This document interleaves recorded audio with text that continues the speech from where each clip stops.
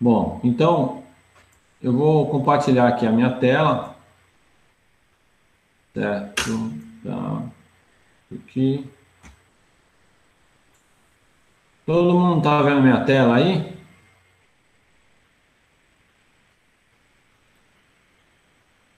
Sim, tá aqui.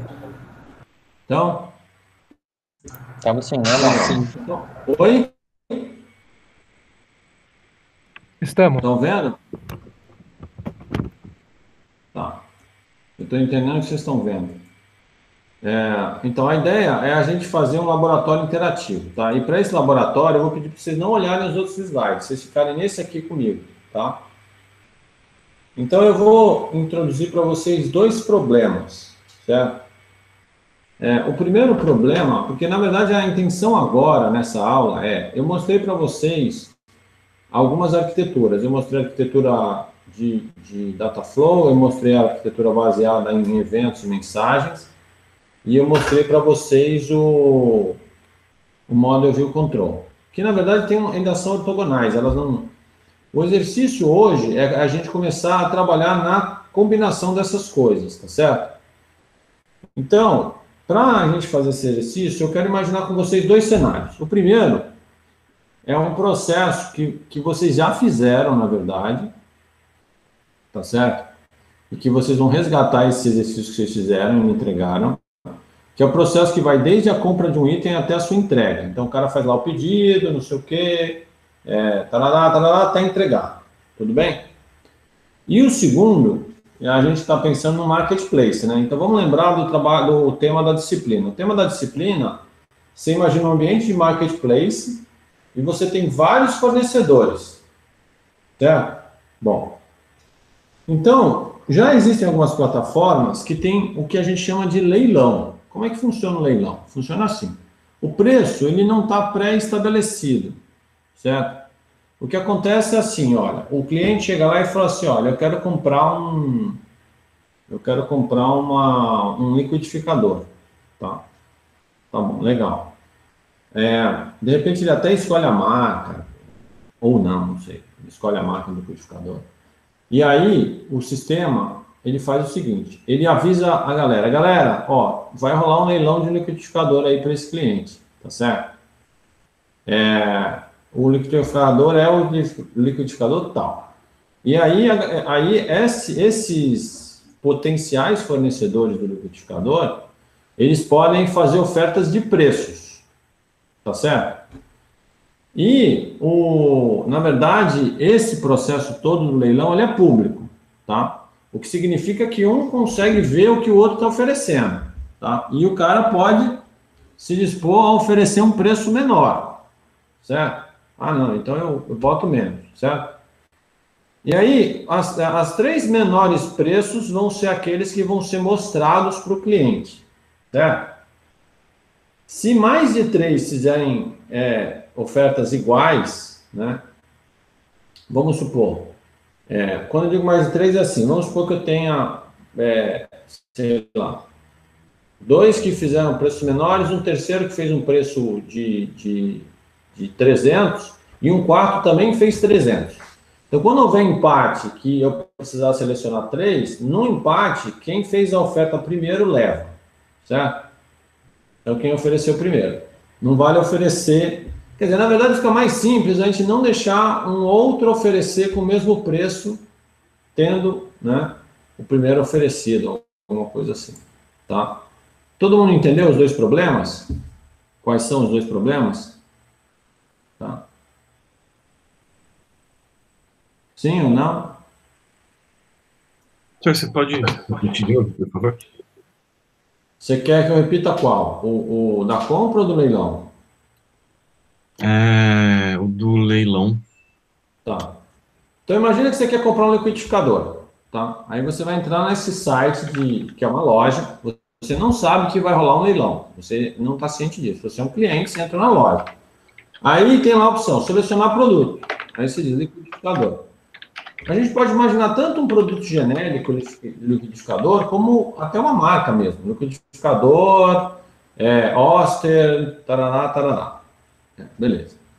Na hora que o cara selecionou o produto, o que, que o site vai fazer? Ele vai mostrar o produto e o, e o preço, concorda? Então, o que eu estou sugerindo é assim: é, ao invés de mostrar só o produto e o preço de um, né, o que, que eu vou fazer? Eu vou pegar esse liquidificador e vou jogar no leilão. Eu vou chegar lá e vou dizer assim, pessoal, o cliente está querendo comprar um liquidificador Oster assim, assim, assim. Pá, joga lá no leilão. E aí, é, os, os potenciais fornecedores que estão cadastrados no meu sistema, eles vão receber essa, essa chamada dizendo: tem um cara querendo comprar esse liquidificador, tá certo? Aí começa o leilão. O que, que quer dizer começa o leilão? Vai ter um desses fornecedores que diz assim: eu vendo por 300, tá? Na verdade é um leilão invertido, né? A gente poderia chamar de um leilão invertido, porque não é um leilão para comprar, é um leilão para vender. Eu vendo por 300, tá? E, e na verdade não é o maior preço. É, tem um nome para isso, se chama leilão invertido. Leilão invertido. Certo? O leilão invertido quer dizer que, na verdade, é, você não ganha o maior, o maior, ganha o menor, né? E não é um leilão para compra, é um leilão para venda. Ele é invertido. Existe isso, né? Então o cara fala assim: eu vendo, eu vendo um liquidificador por 300. E aí to, é como se fosse um leilão. Todo mundo está vendo o cara oferecer 300, tá certo? Aí o outro fala assim: não, então eu vendo o meu por 290. Tá? tá todo mundo vendo. Aí, e o cara do leilão tá ali registrando. Tá? Aí, é, eu vendo o meu por 270. E aí vai, pô, pô, pô. E ele vai fazendo um ranqueamento. Né? Bom, vai ter uma hora que ele pode chegar e falar assim: ó, pessoal, encerrou o leilão. Ele mandou uma mensagem para todo mundo dizendo: encerrou o leilão. Tá? Dou-lhe uma, dou-lhe duas, dou-lhe três, encerrou o leilão. Na hora que ele encerrou o leilão, é, ele vai pegar os três menores, certo? E esses três menores, ele mostra para o cliente. Ah, mas por que ele não mostra só o menor preço? Ah, sei lá, porque pode ser que um entregue mais rápido, mais cedo, né? Ou é, é, qualquer outra razão, certo? Então, é, ele vai mostrar os três menores para o cliente, certo? Bom, e se tiver empate e, por exemplo, ele tivesse que mostrar quatro, né? Porque tem dois ali que tem o mesmo preço, empataram e ele acaba não conseguindo selecionar três. No empate, quem fez a oferta primeiro leva. Quem ofereceu primeiro. E o entenda-se, você entendeu? Quem, quem chegar primeiro lá leva, é isso aí. Tudo bem? Quem é. Vocês entenderam o que é para fazer ou não? Alguém entendeu? Não? O que, Ninguém tem dúvida? O que é para fazer, ainda não. Mas a não, não. não. Que, ainda não falou o que é para fazer. Isso. Vocês entenderam o problema? Okay. Todo mundo entendeu Isso. o problema? Sim. Tá. Então, a primeira coisa que eu quero de vocês, antes de mandar vocês fazerem qualquer coisa, é, eu pergunto: vocês acham que, do ponto de vista de arquitetura, tá certo? Se eu pensasse uma arquitetura para lidar com esses problemas, tudo bem? Vocês acham que vocês usariam a mesma abordagem para os dois problemas?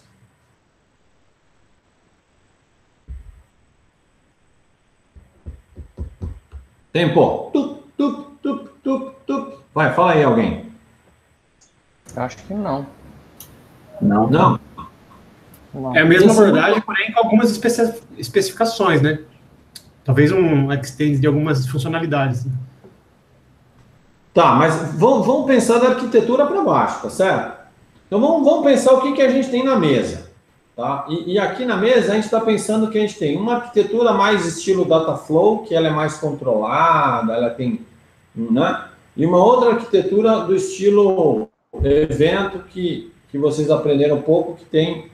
O cara pode assinar, etc, etc. Né? Se a gente fosse pensar nesses dois, nessas duas situações, é, como vocês acham que essas arquiteturas é, é, poderiam ser tratadas frente a esses dois problemas? Professor, eu acho que o processo de compra normal, ele, ele iria numa arquitetura mais de flow, porque a gente já tem os passos, né, tudo certo, da pessoa comprar e submeter aquilo ali, e a, a questão do leilão não, porque a gente precisaria aguardar é, todo, todos os, os, vendedores, no caso, né, faz, fazerem, fazerem as ofertas deles até no final a gente decidir, depois do, do, de um determinado tempo, escolher qual que, quais são os três melhores lá. Então, eu acho que a parte do leilão seria algo mais baseado em evento e a parte da compra algo baseado no, no workflow. Perfeito. Vamos falar. Fala, Marcos. Você ia falar? Ou ligou o microfone sem querer? Marcos? Não? Bom, beleza.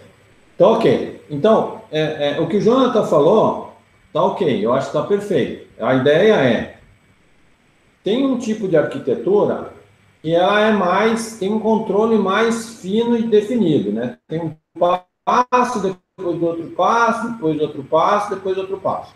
Então, um pedido, ele tem, olha, primeiro faz isso, primeiro faz tal coisa, depois faz aquilo, depois faz aquilo outro, depois faz não sei o quê. O outro, não. O leilão é. Tem um monte de gente, né? Então, note, se a gente imaginar aquela arquitetura baseada em eventos, e a gente vai retomar aqui, você imagina que num leilão eu poderia ter uma galera. Eu posso ter um barramento e o cara que fala assim, galera, leilão. Aí fulano vai e fala assim, ah, eu ofereço tanto. Ciclano, ah, eu ofereço tanto. E aí essa galera vai interagindo, né? E vai ter assinaturas. Então, por exemplo, quem está interessado né, né, naquele leilão, aí como é que vai ser a assinatura? Aí vocês podem pensar, será que eu poderia assinar por produto, por categoria de produto, né? Aí eu recebo, né? Aí eu posso chegar e falar assim, ah, tá bom, recebi uma notícia dizendo que está tendo um leilão desse produto. Eu posso fazer uma, uma, uma publicação, né? Ah, eu assino. Tá, então, vocês entenderam as duas diferenças? Duas, dois estilos arquiteturais? Por que, que um é legal e o outro é legal? Sim?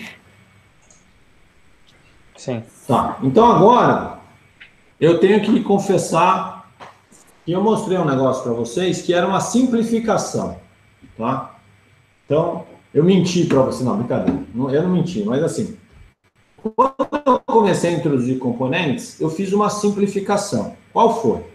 Vocês lembram que eu mostrei para vocês aquele esquema de, é, de, de sequência de tarefas para executar alguma coisa, né? E aí eu até pedi para vocês fazerem o seguinte: pega os componentes, monta os componentes, imaginando que você vai fazer um fluxo para de um pedido até uma entrega, certo? Bom, e aí vocês fizeram só componentes interligados e um foi falando com o outro. É, dá para fazer isso, na verdade, certo? Dá para fazer isso. Mas isso foi uma simplificação que eu fiz, tá? Na prática, quando eu tenho uma, uma sequência pré-determinada de coisas, eu tenho um, um problema de orquestração, certo? Que eu vou falar para vocês basicamente o que, que quer dizer orquestração, tá? Eu vou, como está aqui agora, para uns slides que não estão, não são esses que vocês estão mexendo aí, tá? É, é. Ah, deixa eu fazer assim, ó.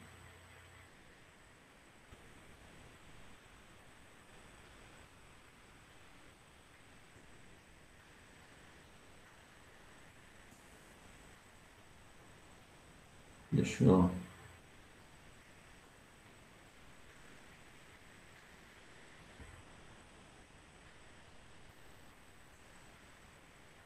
Então vocês vão ver. Estão vendo minha tela aí? Ah, ele se perdeu completamente aqui. Não. Ele, ele se perdeu completamente. Agora, agora ele vai. Estão vendo aí? Sim. Tá. Então, deixa eu pular essa parte aqui. Então, eu vou falar para vocês sobre orquestração. A ideia de orquestração é, é que a ação entre os componentes, o processo em que os componentes é, trabalham, ela segue uma, um, uma coordenação, alguém que orquestra esses componentes, né? Alguém que diz para ele, primeiro você faz isso, depois você faz aquilo, depois você faz aquilo.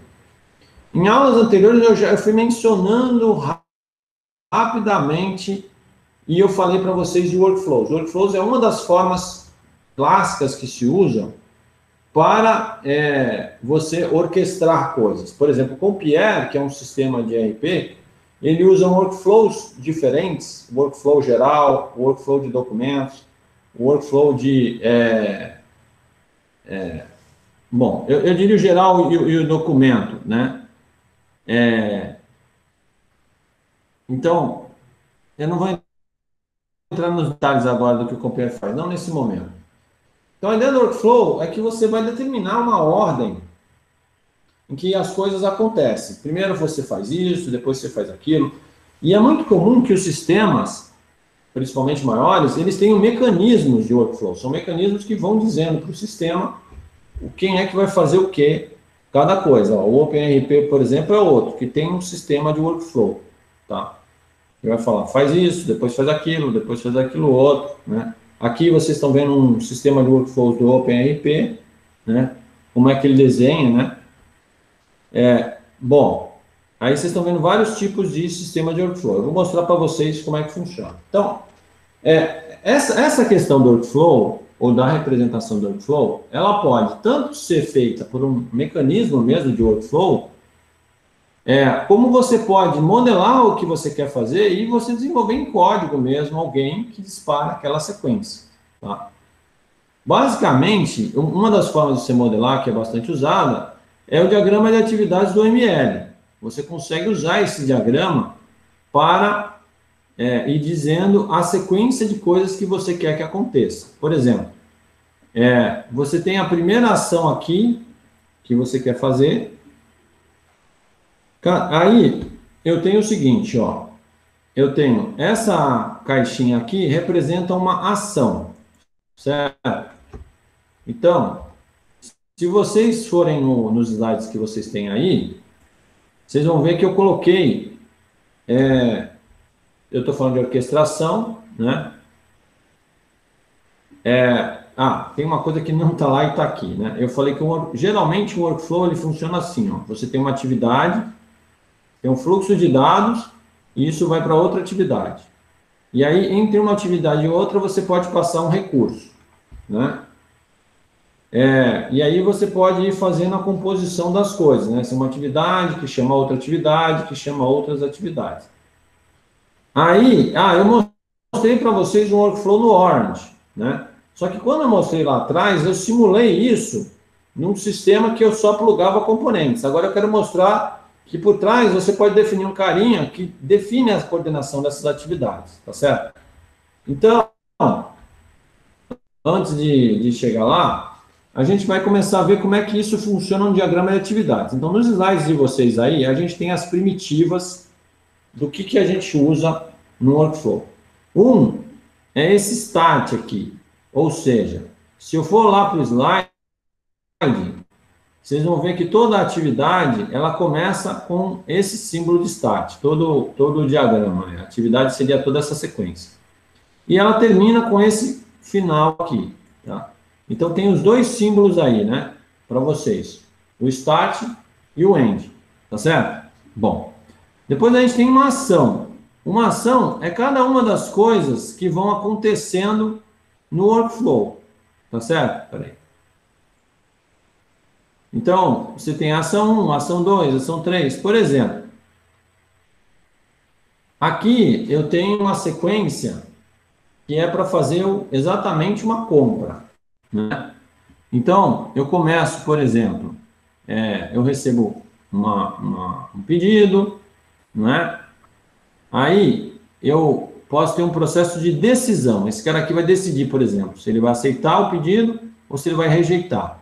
Se ele aceitar, eu, ele preenche o pedido. Se ele rejeitar, eu venho para cá. Daqui a pouco eu explico o que, que é esse losango aqui. Tá? Então, é, eu, eu tenho esse símbolo aqui, que vocês estão vendo, que é um símbolo de decisão. Toda vez que eu tiver que tomar qualquer decisão, eu desenho esse losango e aí defino se eu vou numa direção, se eu vou noutra, eu posso ter mais de uma opção, duas, três, e eu escrevo aqui, ó, cada uma das alternativas, tá vendo? Entre colchetes, tá? Esse outro símbolo do losango também, ele é um contraponto desse. Ele permite que você junte fluxos de dados, tá certo? Daqui a pouco, é, é, esse, é, esse juntar fluxo de dados significa que, por exemplo, se o pedido for rejeitado, ele vem para cá e fecha o pedido e encerra. Né? Tá, então você pode ter atividades, aí depois você pode ter, como você está vendo aqui embaixo, você está vendo um retângulozinho aqui, você pode especificar, e aí está aí no diagrama de vocês o símbolo, tá? Vocês podem especificar um objeto de dados que você queira transferir de uma atividade para outra atividade. Você pode dizer assim, olha, entre essa e aquela, eu quero transferir esse objeto de dados. Certo? Bom. É, aí, você pode fazer, então, como o exemplo mostra aqui embaixo. Ó. Por exemplo, entre o send invoice e o make payment, você manda um objeto de dados que a gente chama de invoice. Tá? É, depois, você pode detalhar esse diagrama dizendo como essa invoice é feita em UML, na, na forma de uma classe, etc. Tá certo? Bom. Alguém quer perguntar? Eu ouvi alguém abrindo a voz aí. Não? Tá. Bom, o que, que é essa barra aqui, olha?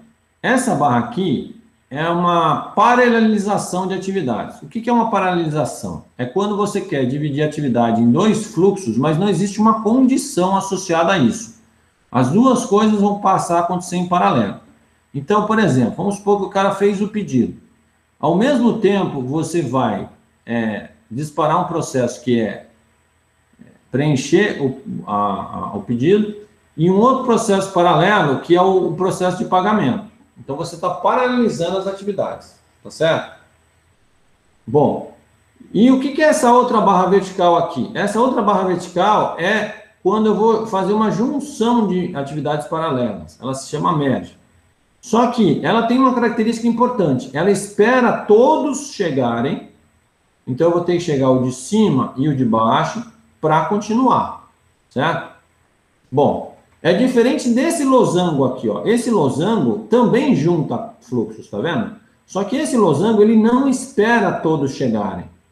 Então, por exemplo, se o pedido for rejeitado, ele vem por aqui, vem por aqui e encerra. Ele não espera vir nada desse lado aqui, desse fluxo, tá certo? Ele vai por esse caminho e encerra. Ou, se o pedido der certo, ele vai por esse caminho, passa aqui e encerra. Então, os dois fazem junção. Só que esse aqui, que é a barra vertical, ele espera todos os fluxos chegarem para seguir. O losango, ele não espera. Chega, ele segue. Chega, ele segue. Tá certo? Então, nos slides de vocês, eu estou representando isso é, aqui, olha. Eu tenho os símbolos aqui, ó, tá vendo? Esse aqui se chama fork, é o que se paraleliza. Esse aqui se chama join. Esse aqui é uma decisão e esse aqui é um merge. Oh, eu, eu chamei esse de merge da esquerda. Na verdade, esse é join, é o que espera, e o merge é o que não espera. Todo mundo entendeu até aí? Bom, é, bom, aí o que acontece? Então, isso é um cenário, tá certo? No, então, para o que a gente vai fazer, que é orquestração, a gente vai trabalhar com esse tipo de abordagem. A gente vai imaginar que a gente tem é, um fluxo, né? E que a gente vai montar esse fluxo. Tudo bem? Beleza. Na outra. Oi, alguém quer falar?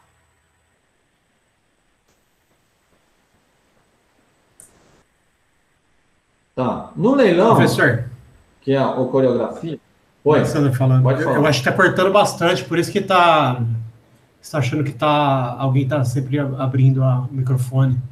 Para mim aqui está vindo bem falhado aí, não sei se para alguém mais também. Para você, tá vendo o que é, no áudio falhado? Tá cortando bastante. É, sua voz, ela fica metalizada várias vezes assim durante durante você a sua fala. Ela ela oscila, né? Espera aí, só um instantinho. Deixa, deixa eu pegar o microfone aqui.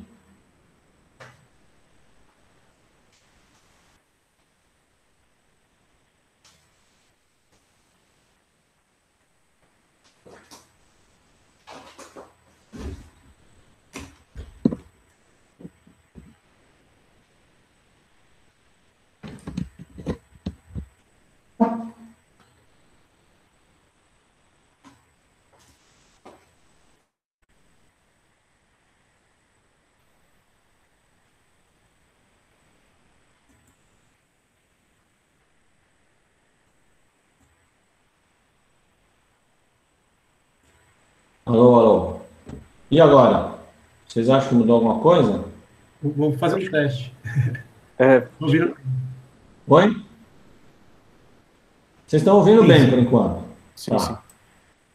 Mas até agora vocês conseguiram entender ou, ou- ou a interrupção da voz atrapalhou? Vocês entenderam alguma coisa? Ah, deu para acompanhar um pouquinho. sim. Pode, pode continuar da onde você parou. Pelo menos da minha parte. Não sei se mais alguém tem alguma objeção. Pra mim também, professor, foi só às vezes. Só às vezes que tava falhando. Mas assim, também eu conseguia entender. Tá. Muito bem. Então, é, qual é a outra abordagem? A outra abordagem é a do leilão. A do leilão, ela não tem ah, alguém coordenando o processo. Vocês vão imaginar que existe um barramento, tá certo? E que existe o processo de leilão. Nesse, a gente vai pensar na coreografia, que é a outra forma de representar. Na coreografia, a minha expectativa é que vocês é, pensem é, nos componentes. Aqui, ó, esse aqui, ó. Você pensa nos componentes no barramento, né? Trocando mensagens. Então, o que vocês vão imaginar é quem são os players dessa coreografia do leilão, tá? Quem está nesse leilão é, e que mensagens eles vão mandar, certo? E aí, é, vocês vão dizer para mim assim, olha, é, o processo vai começar, então, cada ação e quem responde àquela ação vai ser definida pelo tipo de mensagem que você manda ou que você recebe, certo? O tipo de mensagem, no caso, você usa essa representação aqui, ela é representada pela interface. É como se isso aqui fosse o tópico, certo?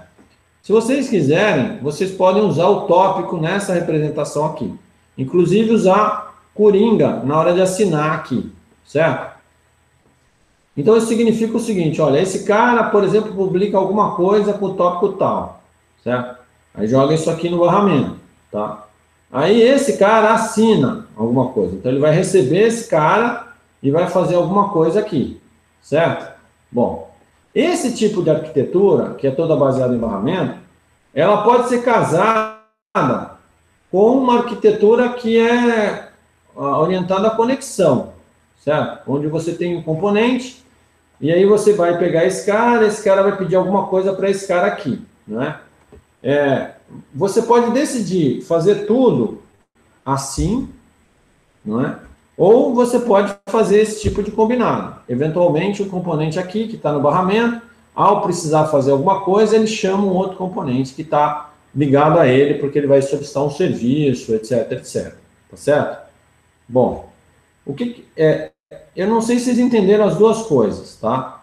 Aqui estão os símbolos do diagrama de atividade, e aqui eu fiz uma versão reduzida. Eu também vou fazer a versão reduzida lá do barramento, aqui acabei não, esquecendo de botar ele aí, tá? Mas a ideia básica que eu queria que vocês fossem começassem a fazer agora, que a tarefa é o seguinte: eu queria que vocês representassem esses dois cenários, tá? O primeiro cenário é o cenário do workflow. Então eu queria que vocês imaginassem um workflow, aquele que eu mostrei para vocês. Eu não botei público aí, porque eu não quero que vocês copiem aquilo ali. Eu quero que, na verdade, vocês partam do que vocês fizeram com os componentes e agora vocês imaginem o seguinte: é, é, imaginem que você tem de um lado. Peraí. Imagine que vocês têm de um lado o diagrama de atividades. Então, eu vou fazer um aqui com vocês. Por exemplo, eu vou começar aqui um workflow, tá certo? Então, eu vou pegar esse cara aqui, eu vou criar um slide aqui para mim, tá? Vai ter um início, certo? Acho que vocês estão vendo minha tela aí, né? Deixa eu aumentar aqui para 200, fica melhor para ver. Então, aqui está o início, tá vendo? Aí eu vou pegar uma ação qualquer, tá? Vou colocar a ação aqui, ó. Tá? Por exemplo, é, dispara pedido. Tá? Aí você vai me dizer assim, tá, esse processo que é, é o cara que dispara o pedido, né? E aí, vou fazer uma linha. Não.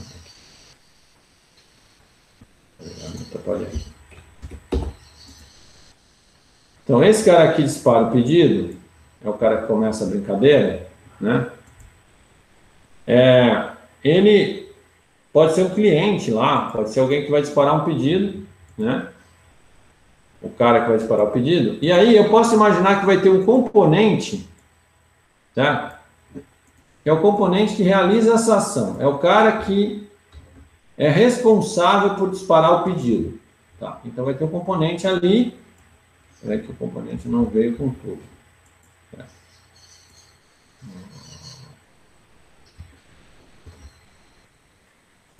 Vai ter um componente ali que é o cara que vai um componente, sei lá, eu estou falando de uma forma geral, o pedido, que é o cara que vai ser responsável por, por essa disparar o pedido. Então, eu vou fazer aqui uma linha dizendo, olha, esse cara vai ser executado por esse pedido. Eu vou botar ele aqui num, num pontilhadozinho aqui, para dizer assim, olha, esse dispara pedido vai ser executado por esse componente aqui, que é o componente do pedido, tá certo?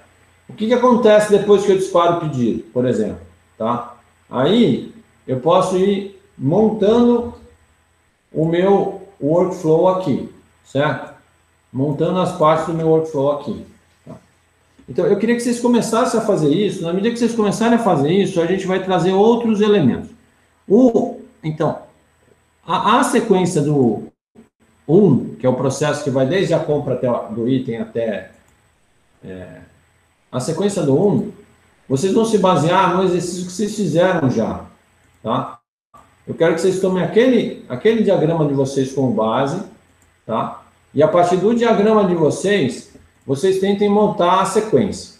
O do leilão invertido, eu estou imaginando que vocês vão pegar esses componentes aqui, que eu vou fazer até numa versão reduzida, tá? Deixa eu já colocar lá. Esses componentes aqui, Aqui, aqui, eu, aqui eu tenho uma prateleira com os componentes em tamanho menor. Tá? Já no tamanho, eu quero que vocês usem. Certo? Então, vocês vão pegar esses componentes aqui, tá? E montar o que vocês acham que seria a sequência da galera que faz o leilão. Todo mundo entendeu o que é para fazer? Vão ser dois separados ou um só? Dois separados. Beleza.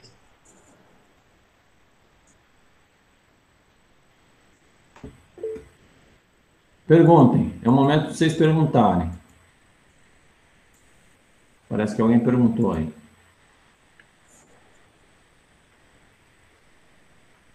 É, a gente desenha né, o diagrama de atividades ali e para o caso do pedido, e aí faz a conexão com, com os componentes que a gente criou para o pedido, e aí pode é. acrescentar caras novos e tudo mais. Né?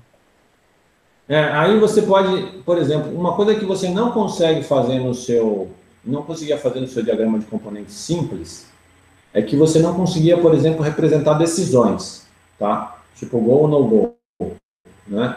Então, pode ser interessante você dar uma enriquecida nele, né? E você pensar assim, ah, tá, vai ter, será, ah, ah e se o pagamento for rejeitado, por exemplo, né? Como é que eu faço? Então, você, vai, você pode pegar como base o seu diagrama de componentes com as conexões lá, do jeito que está, tá? e começar a trabalhar nele, certo?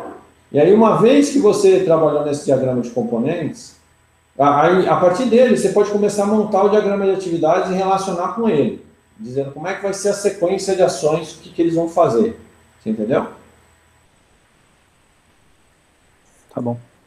Tá. Beleza. O outro, você vai ter que imaginar o barramento e a forma como as coisas se ligam, tá? Eu estou aqui só ajustando os tamanhos, tá, gente? Para as coisas caberem.